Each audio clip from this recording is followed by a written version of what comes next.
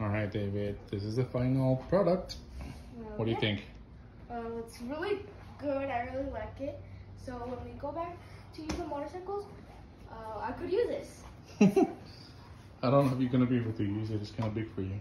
Uh, yeah, it's pretty big. But you can use either your quad or your dirt bike. Now we can race. yeah, but you're gonna win because this one has uh, is bigger and is faster. I'm not sure about faster, but if we tweak it, we're gonna make it run faster for sure. Let's um, show me how do you turn it on.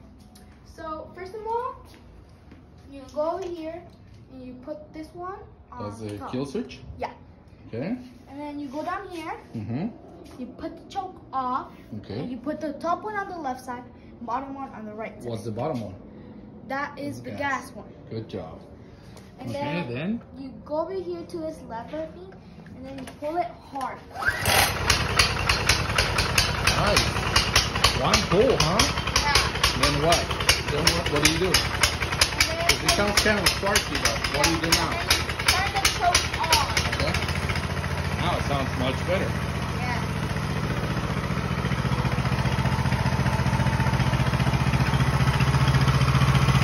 I kind of like it. You like it, huh? Yeah. Nice. Now turn it off.